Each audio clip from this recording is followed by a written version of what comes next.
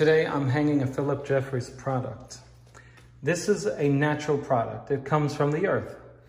And what you're looking at is actually a veneer of a flower, a hyacinth. And so I'm going to show you some techniques that have to be followed when hanging this particular product. Let's first start by saying that this is a glue the product wall covering. Okay? This is our wall. Where do you start hanging the paper? Our wall is 234 inches wide. Half of 234 brings us to 117. That line represents the middle between the left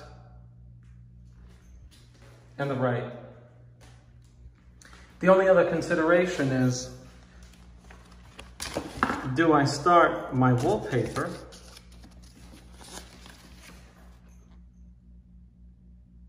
in the middle of the wall covering, if this was my wallpaper? Or is it better that I start each sheet from the middle on either side of my central point. What would determine that? There's only one consideration. It's not what the customer wants. It's not what you think is best. It's not a guess. It's simply this. When you, when you choose either one, and you should work out both, you want to go like this with your either tape measure simulating the width of your wall covering or the wall covering itself. And you go like this, over to the edge, all the way, and you determine whether or not you achieve a better symmetry with either this much of your last sheet left, or you may wind up with something like this which is what you don't want. So depending on where you start in the middle, will determine how the end sheets look. In either case, you'll have symmetry. However, do you want symmetry that leaves you with a two inch piece at the end? Or would you rather symmetry that leaves you with a 12 inch piece? This is what you want you desire to achieve the symmetrical result that will give you the largest piece of wool covering at the end. You desire to achieve the symmetrical result that will give you the largest piece of wool covering at the end. Now this could actually cause the need for additional wall covering. And some customers get so angry because they don't understand when they say, just start on the left. Just start here and go here and do this, then do this. So that when you get all the way to the end, you don't have symmetry and you have something like this at the end. They say, that's fine. And then you're completely off, symmetry wise. And they say, I don't care. But then, when their guests come over and say, Oh, I love the paper, but who hung that? Who hung that? Because you have a full tree over here, and, the, and your horizontal repeat is, let's just say it's 36 inches. You have a full tree here, you have one here, you have one here, you have them, and then you get cut off here. You cut off. And that's the result of not planning your wallpaper layout with symmetry in mind. Now, could you ever start with the edge of your left over there? Yes. Watch when you're doing this. This wall, this wall, this wall, this one, and that one. Then it doesn't matter. Because that's a different planning. The consideration when you're doing the entire room chiefly are two things. One, what is the first wall that you see when you walk in? It's this one. Well, you want to see how that would look if you could get symmetry. That would be your first consideration. Can I get my best result here with a with either a full tree here or half a tree here because I'll either have a full tree here or a half a tree here, but it'll be the same on each end. But no worries because you're going over there and you're continuing over here. Or if you started on the left and you came over, at least you would have the tree continuing onto the side. So when you're doing an accent wall, which is most common today, accent walls, the only full rooms wallpaper hangers today are doing, in my opinion, are bathrooms and kitchens, for the most part.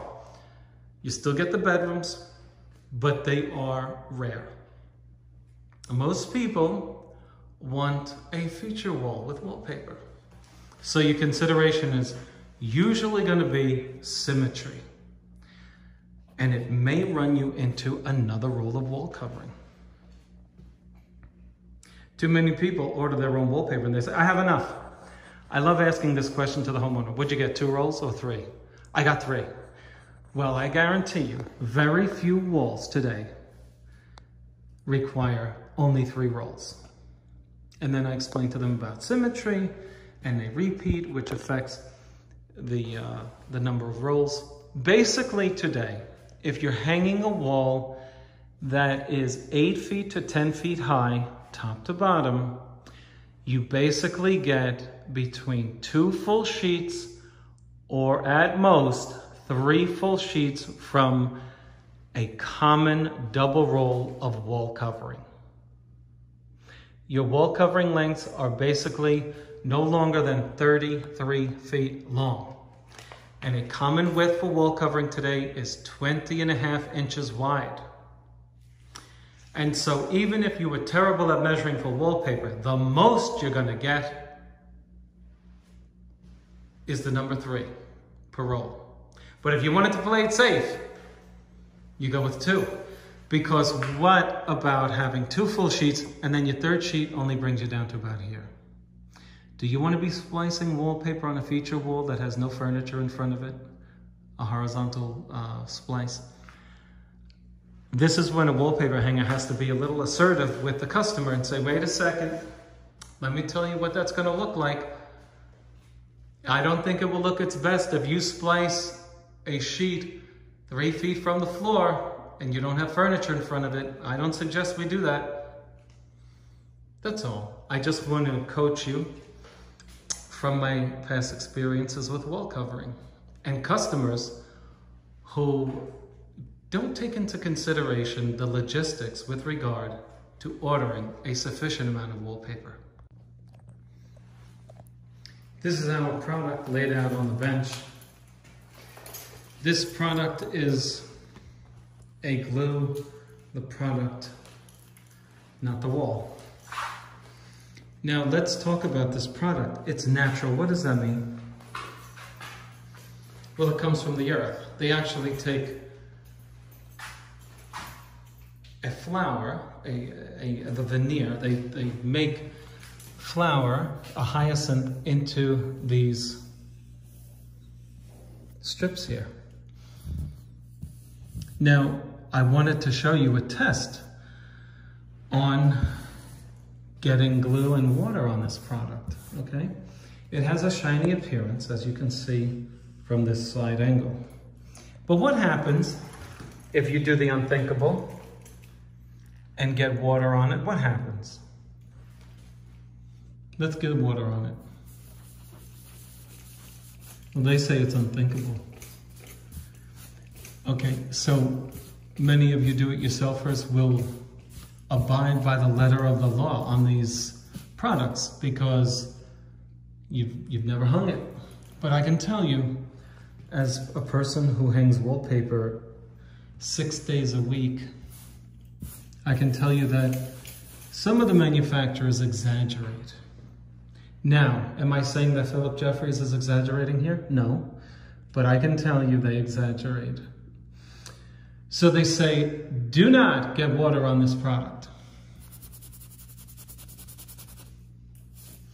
Now, before we went on video, on a piece of this wall covering, I, I put water on it and saw no result. And it happens to be the paper you're looking at now. I put water up here. And that was a half an hour ago. Still no, still no effect. What about glue?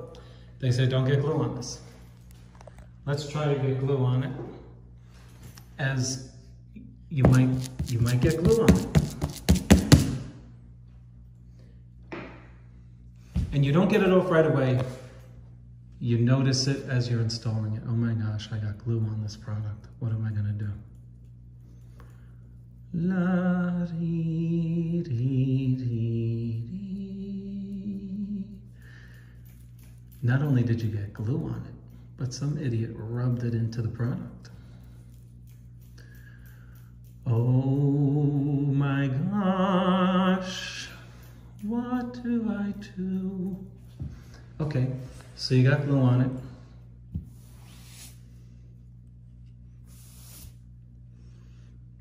No stain. No stain. I'm using a clear strippable glue. Now, when the company starts paying me to advertise their glue, I'll tell you what glue I'm using, unless you ask me privately. And of course, anybody asking me on my YouTube channel is my friend.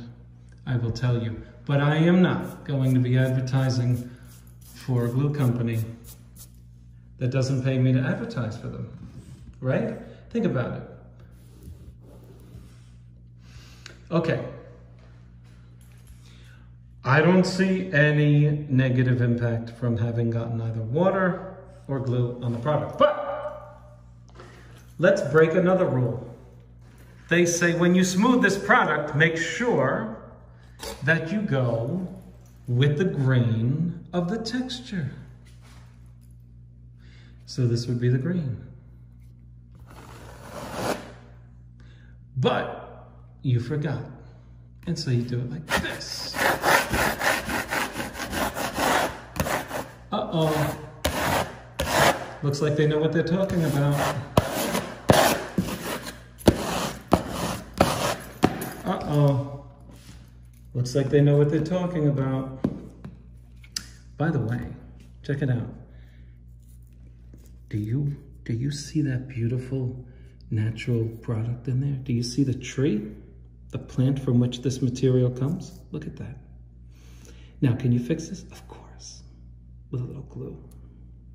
Watch this.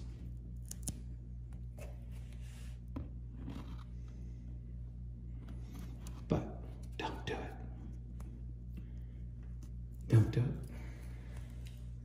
Follow the directions because you may wind up with something that looks like that. Okay? There's your test. Follow your directions on your Phillip Jeffries product. But I just showed you the effects on my product that I'm hanging today from having gotten water and glue on it. Don't panic.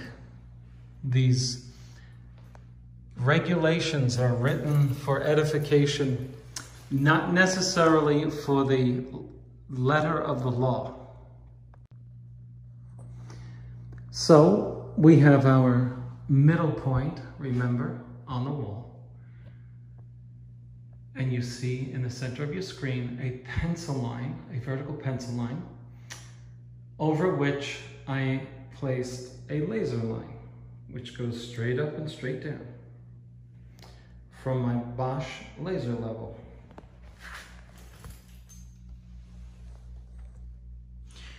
My product is sufficiently tacky. Pay strict attention to the instructions on your product because they mean business when they tell you where to put the glue and how long to leave it. Pay strict attention to that because they've tried it and they know what's best for the particular product. Pay very close attention on where to put the glue, whether it's on the product or on the wall, and how long to leave it. I can tell you, this is one of the few products on the entire market that will tell you glue the product and wait till it sets up getting tacky. Okay? Most products that tell you to wait before the product gets tacky, before you hang it, is products are products that tell you to glue the wall.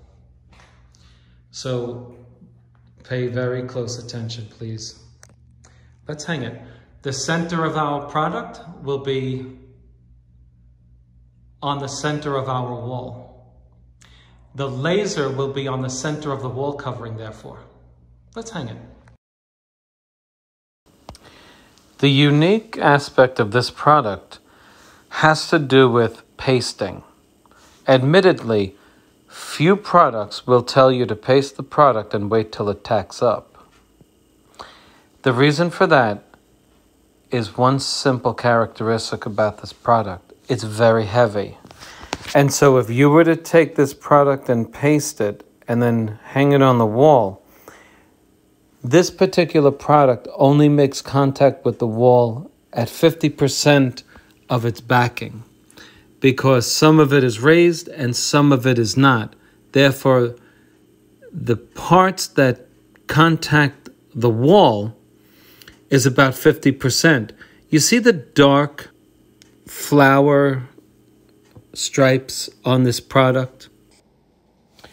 They stick out they're actually raised up. They look flat right now, but in a couple of minutes, they pull away from the wall.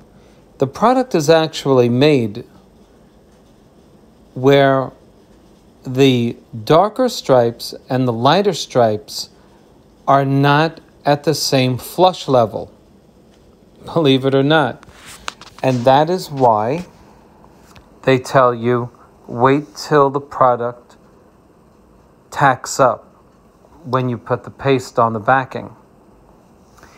You see, since the product is only making 50% contact with the wall, that is, half of those stripes are contacting the wall when you attach the product to the wall, it becomes heavy. And since only half of it is contacting the wall, it would fall off. That's the reason for the admonition in the instructions.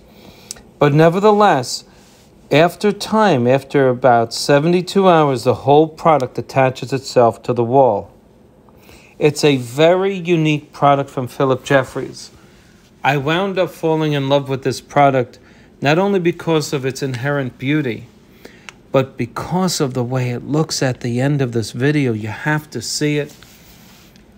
I encourage you to fast forward and just take a look at the final product. It is absolutely gorgeous. Now for the edges, I suggest a neoprene roller for your edges. Because I don't suggest that this product be hung on orange peel texture. Take a look at the lighter stripes right there. As I manipulate this product with this roller, you see the bumps underneath the lighter strips. You see that? I don't like that. I am more inclined toward perfection. I don't like bumps. I'm from New York. We don't hang wallpaper over bumps. But in Florida, the the textured walls is very popular. Uh, in New York, this is not where we learned how to hang wallpaper on this type of stuff. And so you'll see at the end, perhaps not up close, but at the end, you see the bumps underneath the white strips. And the folks who had me install this, they were not being parsimonious with regard to the uh, installation. They just they didn't see any impact uh, of that with regard to its beauty. And so we're ready to hang to the left and to the right now. Going back to our sample piece on which we placed water, glue, you judge for yourself on whether or not that had a negative impact on the beauty of the veneer. I can tell you that on my sheet, it has had no effect whatsoever. So all I could tell you from that is I wouldn't panic if I were you. If I got water or paste on the facade or the shell of this material. Let me just show you the process by which I apply the glue here. As you can see, this unique product has a ribbed texture, right? I mean, even the label of the product told us that it was textured.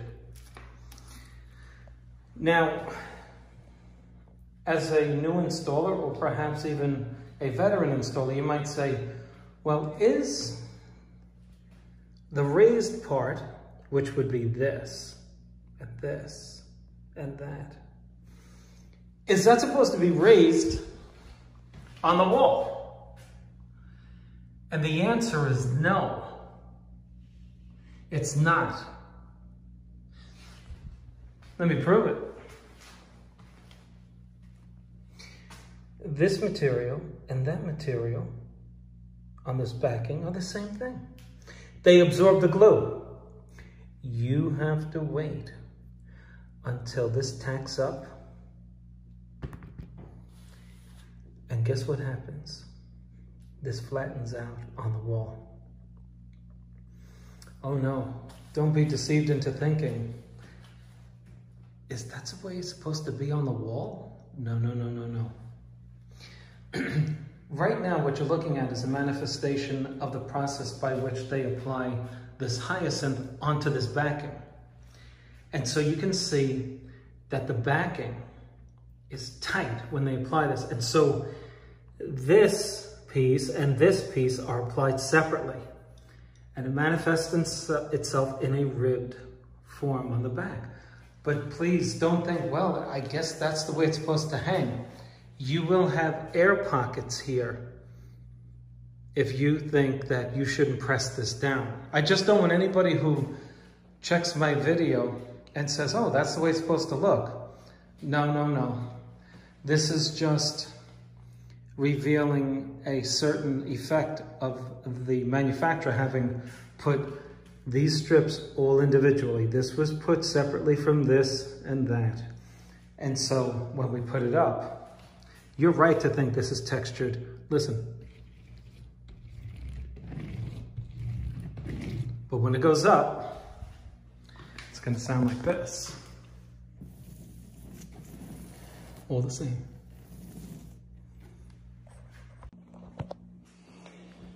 And the way I apply my glue is simply with a paint roller. This product says on the instructions not to pull this through a pasting machine, but I don't see any reason why not. It's a lot of cleanup when you pull a pasting machine onto a job for a wall, so I choose to roll it on.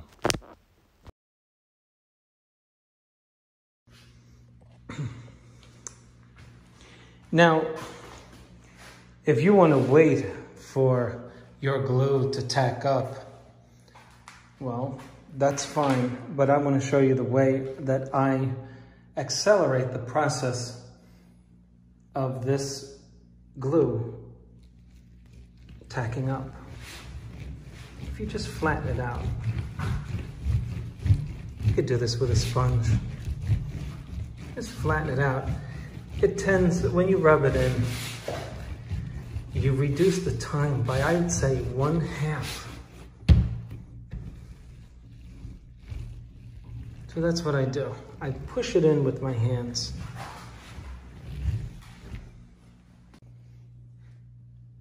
Now I want to show you this wall covering before it goes onto this wall. you may have noticed that I have a very insignificant to the product texture on this wall. Very insignificant. In fact, if you look at our scrap, it does not affect the wall covering. This stuff is super thick. But in case you didn't believe me, let me show you how the wall covering looks before it goes on the wall. Let's take a look at it from a side angle. Look.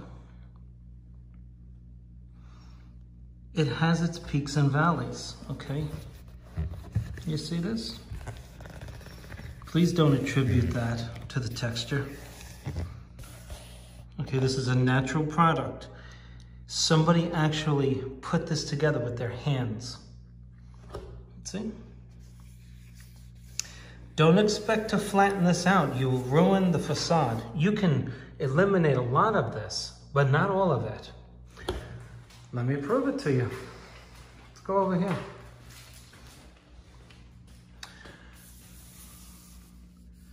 You see that?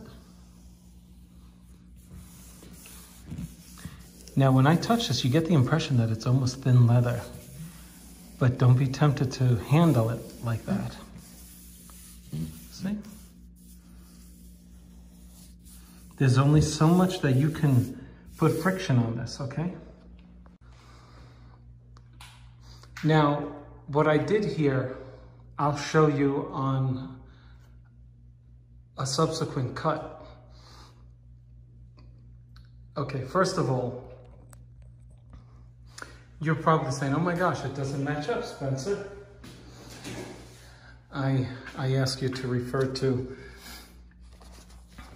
the, the uh, diagram and you'll see that this material does not meet up. Okay, please take a, a good look. You'll see right in the center of your screen, this piece does not meet up. Okay, so please understand that is not a function of a failure on my part. It's just the design. That's number one. But more importantly, what did I do here? Well, I wanted you to see the product first and then explain it to you as I did it. And that's why I did the glue and water test on this product. What you're looking at is the result of a double cut. Now, here's the deal. Phillip Jeffries says in the product, do not do a double cut, do a bench cut. And you'll remember at the beginning of the video, I gave you a couple of scenarios where the directions say one thing and oftentimes you find yourself not following them. Now, I can't stay here and tell you, don't follow Phillip Jeffries' directions. I, I can't say that because who knows what could happen today. But I can only tell you what I did. You understand what I'm saying? I put the product on the wall because I opted not to do a bench cut. A bench cut is when you trim the material on your table or your bench. And so it's called a bench cut. And so Phillip Jeffries was told by installers, we think it's best that they do a bench cut. But there's not an installer out there who's been doing this for years who will tell you that you absolutely must do a bench cut. I'm going to tell you why. What's the difference between a bench and a wall? One is horizontal and one is vertical. Isn't that the case? Okay. Now, there are accompanying factors that make that statement false. But essentially, that's the difference between a bench cut and a wall cut. Now, we tested the material, did we not? So let me tell you what I did. You see this laser line? I overlapped it one inch and I cut it at the half inch. So now my sheet is a half an inch shorter on this piece And on this piece, because I overlapped it an inch and I cut it in the middle. Now you tell me, you look at that cut. Now let me roll it. Because we don't just leave it like that, right? Not too hard. We are mending this cut with a roller. Okay? Very few times I use a roller. I don't like using them because look at the track marks it makes. Okay, then I gotta get them out. But this is one in which I will say you absolutely need to roll your seam. Because here's why, you have competing levels here. You see this lighter color here? That's, remember the back of the wall covering, one is raised, one is not? Well, this is the inverted one and this is the raised one. And so consequently, you have a differential in thresholds. You see that?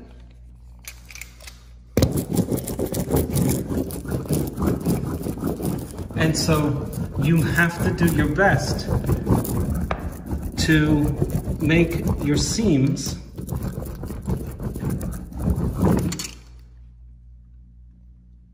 as unnoticeable as possible. Now, you will never get to match up the raised texture to the raised texture. It's just not the way this pattern is, okay? And secondly, you do not reverse these strips.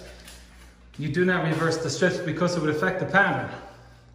Watch this. You have chevrons here. Down, up, down, up. If you reversed it, you would have up, down, down, up, or something like that. It would actually affect the layout. So you don't reverse these. Your top is your top throughout. So I'm gonna continue and then I'm gonna show you a double cut and then we're just gonna wrap it up by putting the rest of the sheets on. But I told you the essentials about this. As far as a professional is concerned, the caveats and the pros and some of the cons. But uh, you do your best and I tell you, I can tell you this. I could have a person who never hung wallpaper hang this. If I just sat in the room and told him or her what to do, they could do it. It's really that simple. I took frog tape and I simply ran a piece of frog tape up the edge of the wall covering on each side in order to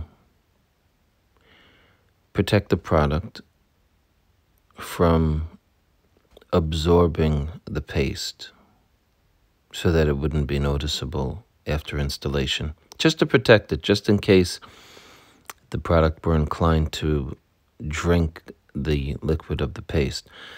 And so I'm just showing you, I took the yellow frog tape, which is very good for sensitive surfaces. Uh, it's not going to pull off that flower, that hyacinth. And I just overlapped it onto the yellow tape, the next piece, so that I could cut through it. You've seen me do this in prior videos. And then with the laser, I use the laser to cut a straight line. If I were to do it on the bench, a bench cut is simply using a metal guide to draw the straight line. I find it a lot easier to cut a long sheet of wall covering on the wall rather than on the table. Wouldn't, do you agree with that? In this part of the video, I'm speaking over the live action just to consolidate the info. This product, uh, being chevrons, slanted down, then slanting up, there's a symmetry here that you have to obey. You see, I'm measuring. You don't want to be nonchalantly cutting off an inch and a half on one side of the wall covering and then two inches on the other just kind of winging it. You want to measure precisely the same cut on the left of one sheet as the same cut on the right side of the same sheet. It's important. Let's recap. My laser line is right over where I cut. So now I have an overlap waste that's a half an inch long.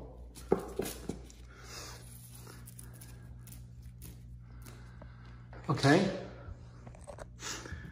And so if I have a half an inch overlap waste, I should have an overlap, an underlap waste of half an inch as well.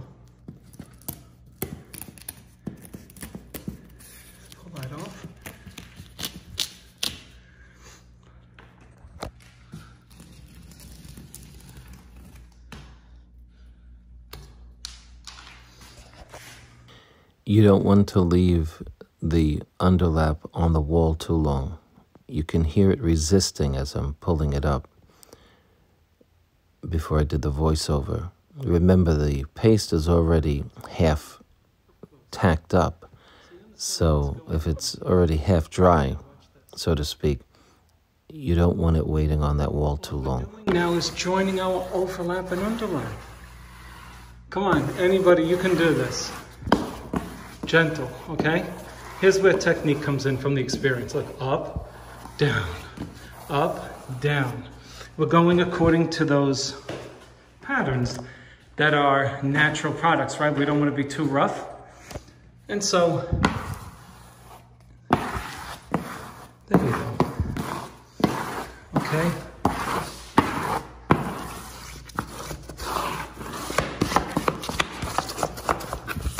Don't rush this when you're dealing with natural stuff. Don't rush it. You can really uh, mess it up. Okay? Like, I'm not going to edit this out of the video. It's a little dry there. Okay? Let me just show you how I'm going to handle that.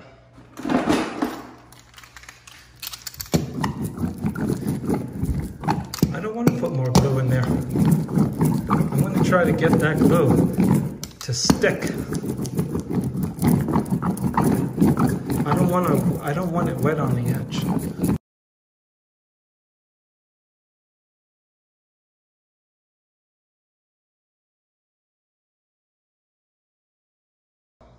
And that's how you do your double cut on this special natural product from Phillip Jeffries. Now let's say you get torque in this product. What am I gonna do with this? What's going on here? This is what I call moody wallpaper, okay? And if we think we're gonna get this out, by simply going like this, boom, you're gonna make a mistake. What do I do? Anybody have any suggestions? Anybody? How are we going to eradicate this? Somebody, please make a suggestion. Well, first of all,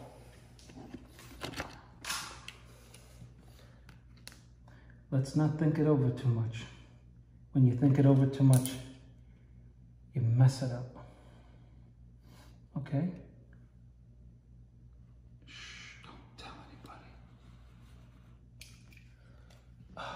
I relieve that. Relieved. You're gonna leave it like that? You can't just leave that like that. You can't just cut that.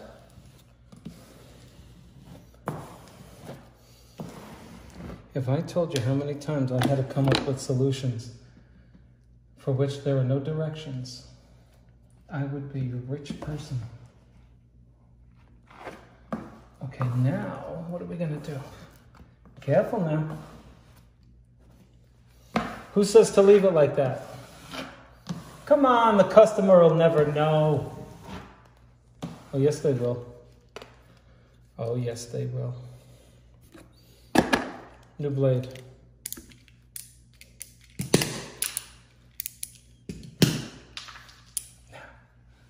Okay. Oh boy.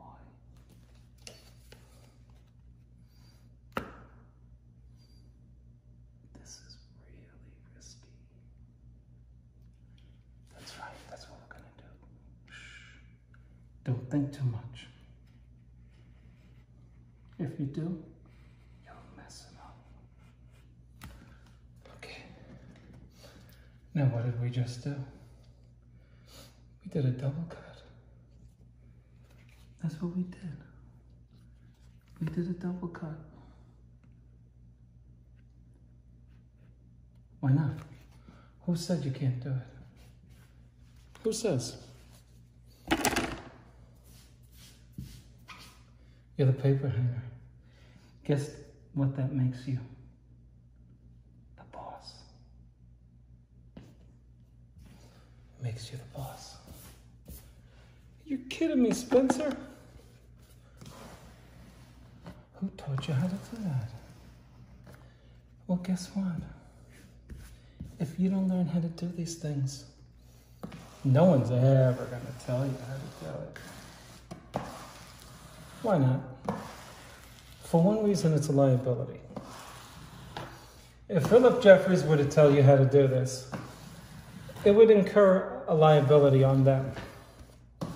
All they want to do is sell you the product. They don't care how you get it up. They don't care. Now, what are we going to do? We're going to roll it. By the way, you see that air pocket I pointed out with the text? If that were stuck there, you could put a slice along the edge where the dark and the light hyacinth meet and just put a slice in it and push that air out.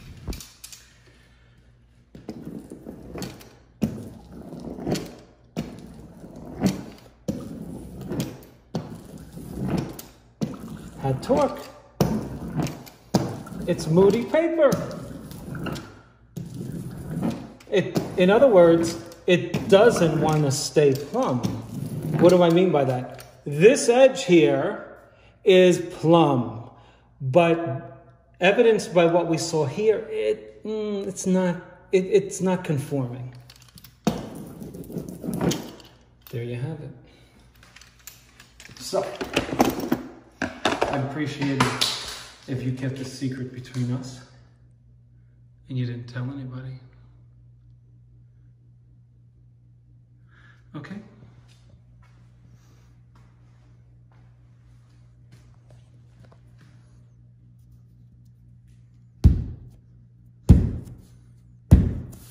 Of course, we're going to work out all of these little air pockets. If you see, they're working out already over here.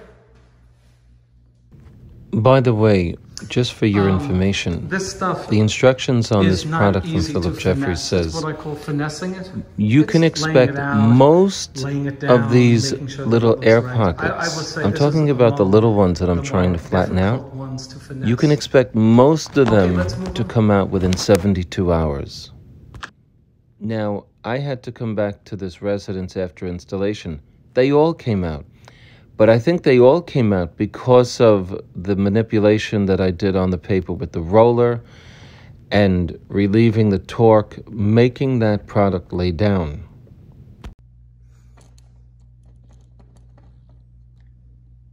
So we have a half inch line from our edge. And then we'll put a laser line on this line so that when we overlap it and we block this, we'll know where to cut it, right? Does it matter what blade you cut your double cuts with?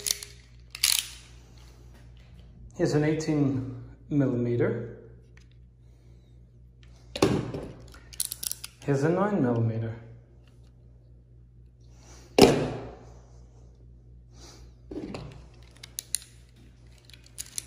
Who says I can cut it with either of these blades? These are all the same. This is a nice stronger blade. When I cut through, you know it's not gonna snap. Well, if you said I could do it with this one, you'd be wrong. If you said these, you'd be right. Let's go over to our wall and explain why. Look at the thickness left to right of that blade. Look at that, right in the center of your screen there. Look at that. That puts a wider cut. You want to use the thinnest blades possible. I'm going to be using these. Okay, so I just cut through this and I'm taking this away. And so now we have our underlap, right? See it? And lo and behold, it's right up against our yellow edge, see?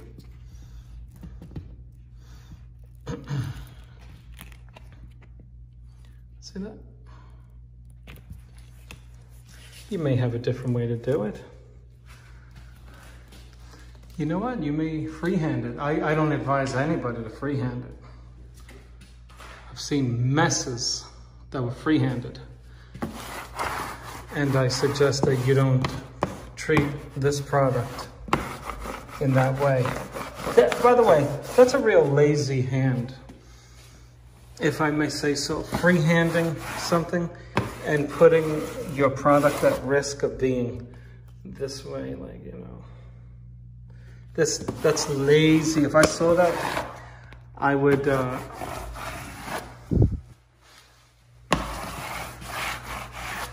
I would not have that installer working for me. People aren't stupid. They check out the lines when you leave. Plus, what does it say for the installer who wants to give, who doesn't care about giving a crooked line? This is your best line right here. I mean, even if it were a little off, you tried, you went with a laser. This is hard to cut. You're going through these two layers of, it's thick product. And you gotta keep changing the blade. I changed the blade three times the way down. All right, let me clean it up and be done with this seam.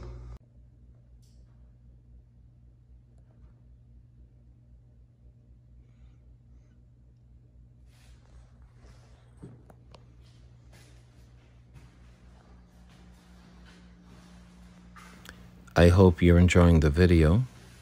Please, if you are, click on like below and subscribe to my channel and hit the all button bell so that you get all subsequent videos. Hey, do you need wallpaper? Check out this link, wallpaperboulevard.com. You can get this and many selections on this link. Use the hashtag Spencer Colgan as wallpaper on your screen so that you can enjoy the benefit of receiving a 10% discount just for watching this video.